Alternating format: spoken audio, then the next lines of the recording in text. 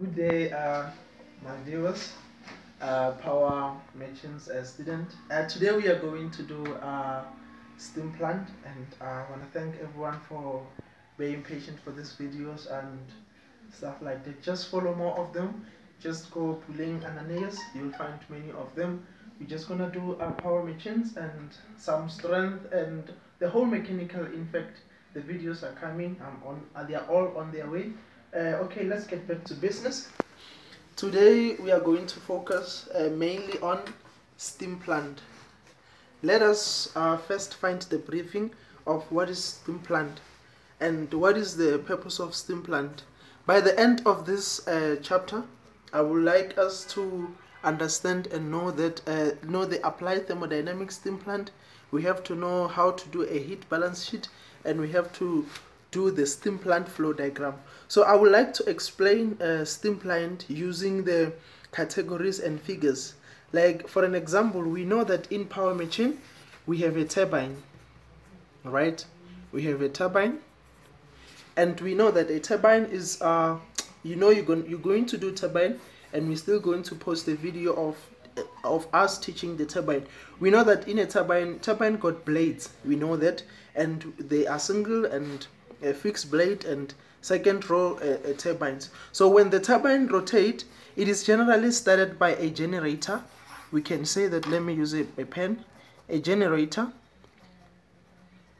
We know that uh, the turbine generator gives like um, the first motion it can be connected to a motor so that this thing is going to give the initial motion so that the turbine can rotate. But uh, it is going to be expensive to use generator for the whole day for the whole week for the whole year. So we simply want to find a way that how can we like the purpose of generator is to turn this tab these wheels this turbine so that the steam can be the electricity can be generated i mean. So we will need uh, a, petrol, all those fuel to turn this generator, but it's going to be expensive. So we designed that, you know what, let us make what? A steam plant. So this is our steam plant. This is our steam plant. So the purpose of steam plant is to generate the steam into the turbine so that when the generator gives the turbine an initial motion, the, the, the steam will continue giving the turbine a motion. So I hope that you understand and let us now focus here. Inside uh, a steam plant, we have this. We are going to work with this three, this uh, I mean five figures. First, we are going to look at economizer. We are going to look at economizer. We are going to look at evaporator. We are going to look at superheater. And we are going to look at these three components. These are the main three components. But we will also look at um, air, air, air, air preheater. I'm sorry for that. Air preheater. And we are also going to look at the chimney. These are the five things that we are basically going to look. But first, let us concentrate on this first tray. We know that in every plant, uh, there will there must be a dam or a river uh, or something. So we are like if you can visit any place where they generate electricity, they must have like a something like maybe a dam or a river. Let's just say a dam. It can be man-made, it can be a natural made, uh, all those kind of things. But we're gonna have a dam. So the purpose is this. Remember, we say that we're concentrating on economizer, evaporator, and superheater, right? So it means here we are going to have what let's say that we are going to have an economizer economizer. And here let's give um, an evaporator. What I'm trying to do here uh, guys is, is is a steam plant flow. How this flows how the, the steam flows from one component to another. Here we're going to have an evaporator. And let's put this one here. And here we're going to say that we are having a superheater. Okay First of all, the purpose of economizer is this. Let's start with economizer. Then I can dash it here because we are we are dealing with it now. The purpose of economizer is to reduce uh, temperature and I mean is to increase the temperature. For an example, the economizer serves as a feed water, like it sucks water from the dam. So from here we're going to have what eh, eh, eh, T1, which is temperature number one. This temperature is the temperature of water, is the temperature of water from the dam. Then we know that okay, if we have T1, then T1 is going to give us what H1, which H1 is what is an enthalpy. Take note that um, we are going to work with enthalpy and flue gases. But at the moment, let us focus on enthalpy, then we're going to come to flue gases. Uh, let me take my textbook and I show you something. When we are given, for an example, when we are given a temperature here of a feed water, this is the temperature of a feed water, right, into the economizer. Remember that uh, this water, what is heating this water? This uh, evaporation will take out a, a steam and the steam will go through superheater into the economizer. We're still going to discuss that. So when this steam passes here, it is the one that heat this water to change what temperature. So it means so after heating of this steam, we're going to have T2, which T2 is going to give us what H2. Let us find let us uh, find out how are we going to get this H. Let us assume that our T1 is um 51 comma 4 I hope it, it is there at the back we then we're going to to at the back we're going to check a saturated temperature TS of what? 51 comma 4 let us look let us look let us look. Okay we don't have any here. Then we come here and we check 51 comma okay we have 51 comma 1 let's say we, we, we were given 51 comma 1 so here you see that um, we are having 51 comma 1 if you check here on 51 comma 1 you look at HF because of this water from the dam it's water it's HF right? So you look at HF HF is what? 214 can you see it? 214 can you see it? Good. So then we see we, we come back and say that we come back and say that our H1 is what 214 so it means now we have enthalpy 1 which is 214 same thing will apply with T2 and H2 let us assume that our T2 is um let us assume it's 149,5 we assume that our T2 is 149,5 how are you going to get H2 you since I showed you how to get T1 uh, T1 and H1 you can pause the video and try to check if you can get H2 for yourself. Then if you you can or if you cannot you can continue with the video. So we, we, we will find out what is H2 okay then we're gonna go back to the to the uh, steam plant table and check 149 comma 149 comma is it 149 comma 5 right? There we go. Here it is 149 comma 5 so you look at, at what? Hf which is 630 then you confirm that your h2 is 630 it, it is it, it means that now that what happened is this what happened is this. It means that a economizer heated the temperature from 51 to 149 even the enthalpy will do what? Will increase. I hope you get that so now let's go to the evaporator. I can cancel it here. What is the purpose of an evaporator? Go to your kitchen go to your stove and uh, analyze the stove.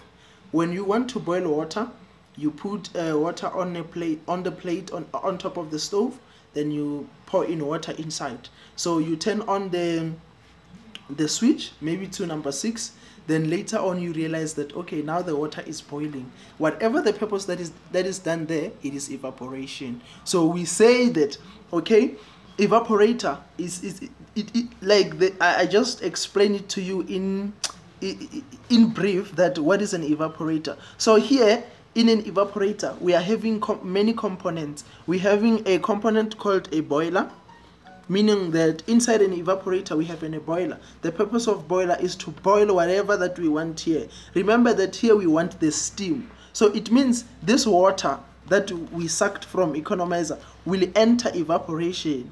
And we are we will gonna need a fuel. Then it means here we're gonna have what? Mass of fuel which we can dominate it as mf we say that it's a mass of fuel. So we're gonna need fuel. Most commonly we know that in to to uh, do electricity we need coal right guys? We need coal. So this this type of a fuel is going to be coal. Then we we, we can just put in uh, maybe 100 cones there whatever we need like the the, the, the exact amount. Or we, we need uh, when you when you when you maybe you're cooking you are cooking porridge you know that okay for, for for boiling water you can put your switch on number six. Later on when you start cooking you can reduce your your, your stove to number three whatever so that your cooking can be fine. So even here we do it the same way like that. And the thing that controls everything is heat value we can say that it's what heat value which means this some people can name it cv some people can name it hv it's one of the same thing. So you now understand what what an evaporation is. So the purpose of this the coal will burn that water that we just come in from the boiler and the steam will be generated. So we know that okay the flow of steam will go straight into the superheater so in the meantime, you must take note that this steam that is coming out here, it's not dry. So that tells us that we are going to have what? Dryness fraction. We are going to have what? Dryness fraction, which we say that if we have dryness fraction, we know from N5 dryness fraction is X. So we can find the enthalpy of this position. This position, like remember we said this position is going to be 1, this is going to be 2. It means this position is 3. So to find a enthalpy on 3, you take this, you say that H3 equals to what? HF plus X HFG. Good. So this X is going to be the dryness fraction that we got here and our HF and HG we are going to get it from the pressure of the plant. Remember that every plant got its certain pressure. For an example, we are going to say that this is what pressure of plant. For an example, let's say that our pressure is 2000 kPa, right? This is our pressure of the plant. So meaning that we are gonna go to our book and uh, our to our steam plant. We look at the pressure of 2000 where is it? There we go. Yes. Then remember from our equation we say that um, let me put my things right so we can be finishing soon. So uh, we say that um, the pressure is 2000 right? So remember from my formula I said HF HF means that liquid right? So you come to HF and you take 900 because your pressure is 2000 then you take 900 you substitute it here. Then the X maybe it is 0.94 you are given or maybe you found it somewhere then you substitute your X there. Then now you come to latent heat. This thing we call it a what? Latent heat right? Meaning that inside the latent heat it's what? It's it's it's a inside a latent heat it's a liquid and and, and, and a gas at the same time. So you come here, it is here latent heat, our F, HFG, then which is 1, 1889. Then you substitute it here, then you can get your H3. Then you are done with that one. So we now confirm that we know what is evaporator works. Then we can come and dash out the superheater. We come to superheater. What is the purpose of superheater? The purpose of superheater is to take this dryness steam. Remember that we, we say that the purpose of steam plant is to is to generate a steam so that it can rotate the turbine right? So a turbine cannot be rotated by a wet steam. So the purpose of superheater is to is to convert a wet steam into what? A dry steam. Good. So it means now we are having our final destination. Here is going to be our turbine our big beautiful turbine our big beautiful excuse my pen uh, big beautiful turbine. So we know that we have condition one two three we can name this one what? Four right? So it means now this happened after the superheater. Then in condition four means it's a is a superheater is going to be like this. All right. H4 equals to what? Hg plus cp of su of superheater temperature of superheater minus saturated temperature meaning that here you're going to have what? A specific heat capacity of superheater. You will need this to find your h4 you're gonna need t sub to find your your, your, your, your, your, your, your h4 so that it means that take note that when you are given like uh, for an example let me make this easy for you. You can find h4 in two ways. Let's write conditions here. Conditions condition number one. You can get uh, h4 using um, h4 using pressure and temperature.